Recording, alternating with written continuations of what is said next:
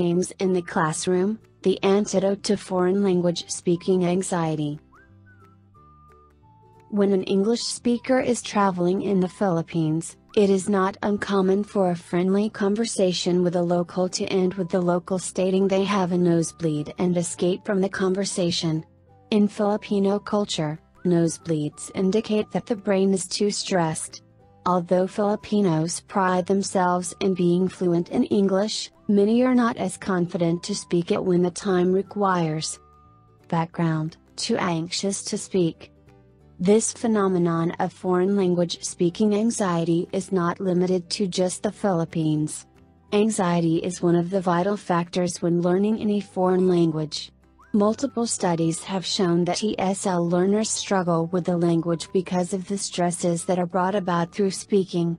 Iranian students stated that when it came to speaking English, their fear of making mistakes, negative evaluations, and their limited vocabulary caused them anxiety. Saudi students studying English admitted their fear stemmed from previous negative feedback in the classroom.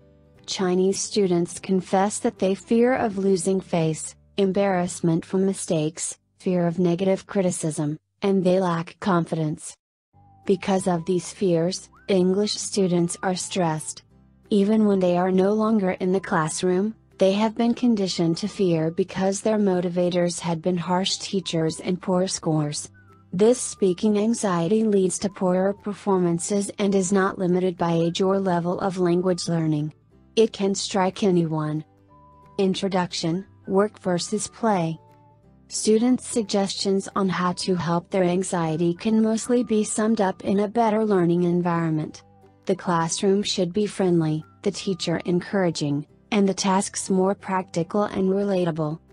A learning environment that encourages all of these aspects is the use of games in the classroom. There is the notion to believe that games are mere time fillers. For some reason, society has made work and play into antonyms. Society has made it a stable that classrooms must resemble an adult's workplace with a desk and a deadline. However, when has a workplace felt encouraging, friendly, and comfortable? When has a workplace felt like a safe learning environment? Games allow the student to escape from routine. Games are a great motivator for students, creates a safe environment, and contributes to self-esteem. If done well, the use of games in the classroom could be the antidote for foreign language speaking anxiety. Motivation. When acquiring a new language, motivation and self-esteem are just some of the top factors. The task in games is to win, not to pass. Failing a game is less stressful than to fail a class. To win the game, one has to speak the target language. When done properly, the desire to communicate in the target language will be connected with the same eagerness to win and enjoy. Students can often get so absorbed into the competition of the game that they forget the classroom. The competition also gets students a reason to pay attention, not only are games effective in the classroom, but students who enjoyed the game can play, or practice further, outside the classroom as well. It is also important to note that games in the classroom are not just for children. Adults also enjoy games as well as children since they are more task focused and do not disregard rules. Games allow adults to be in charge of their own learning, execution, and evaluation. Adults also enjoy the real world application of games. The reasons why adults learn a foreign language is either because of a job, family, or some other needed connection. What better way to practice connection in the target language than through games? Setting The Saudi student in the study mentioned earlier suggested an encouraging learning environment. The Chinese students wish to practice more with their classmates, who are on their level and learning as well, rather than their teacher, who criticizes them. The majority of speaking is informal, yet English language curriculum forces a formal, performance-based agenda. Students are taught formulas and vocabulary to plug and chug, remember and regurgitate. Games did not focus on memorization, but application. Games allow for real life scenarios that call for communication skills that require critical thinking in different environments. Games should not be used as a time filler but should be used in the classroom as frequently as possible.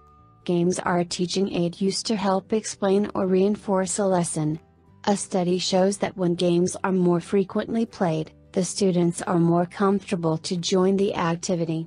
Making games a habit in the classroom reduces the stress of participation because participation becomes the norm.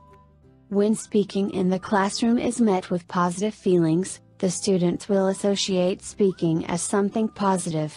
Their English doesn't sound choppy or meek because games allow for speaking to be creative and spontaneous.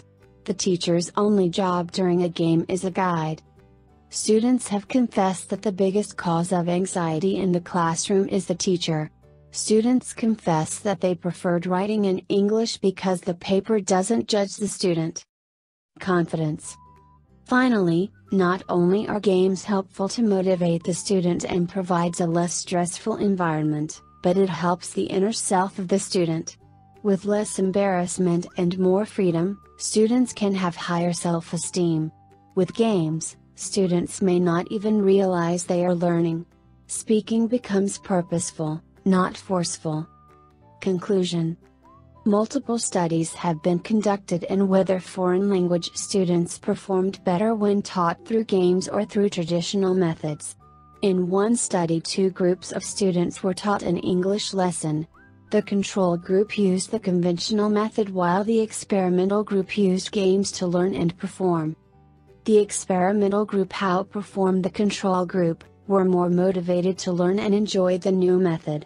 Another study with fourth graders saw that students performed better when they were evaluated through games rather than a traditional test.